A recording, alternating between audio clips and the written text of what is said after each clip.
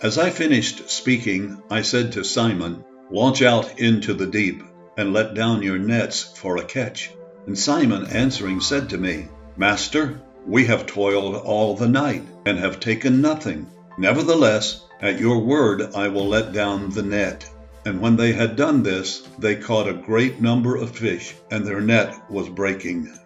When I told Peter to launch out into the deep and let down their nets, it seemed like a foolish thing to him.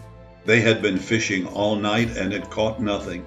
Peter reluctantly and partially obeyed by letting down only one net instead of nets as I originally told him. They caught so many fish that their net broke and they had to call for help. I also know how to direct you to the supply of your need. If I want to bless you with many nets full, don't come with just one net. Trust me for great and mighty things, and you too will be amazed at what will happen in your life. Some people see first and then believe.